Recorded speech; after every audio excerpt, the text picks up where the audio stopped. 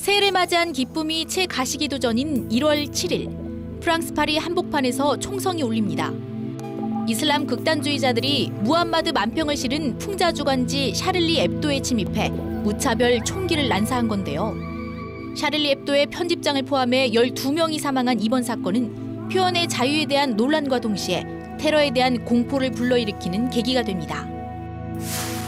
동성결혼 합법화 소식도 큰 관심을 끌었습니다. 지난 4월 아일랜드는 국민투표로 동성결혼을 합법화한 최초의 나라가 됐는데요.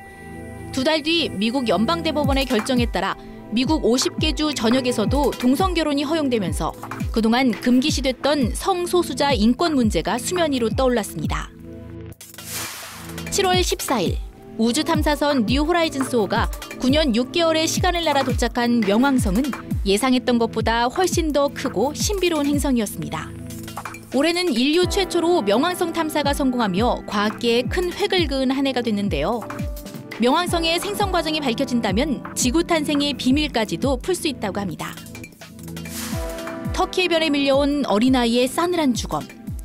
지난 9월 2일 시리아 내전을 피해 그리스로 향하던 난민선이 전복되면서 알란 쿠르디라는 3살 배기 아이를 포함해 많은 이들이 목숨을 잃었는데요.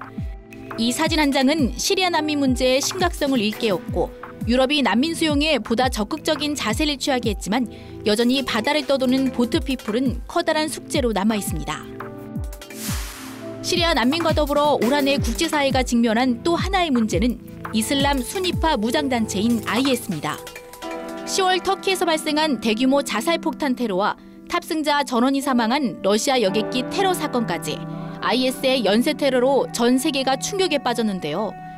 두 가지 난제를 풀기 위한 국제 공조가 어떻게 이루어질지 지켜봐야 할 부분입니다.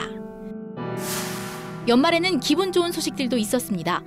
11월 8일 미얀마에서 실시된 총선에서 아웅산 수치 여사가 이끄는 민주주의 민족동맹이 우승하며 미얀마가 53년 만에 군부 독재에서 벗어났고 지난 12일에 열린 유엔 기후변화 협약 총회에서는 전 세계 196개국 모두가 2020년부터 온실가스 감축에 참여한다는 신협정을 체결하며 인류를 위한 약속을 내걸었습니다.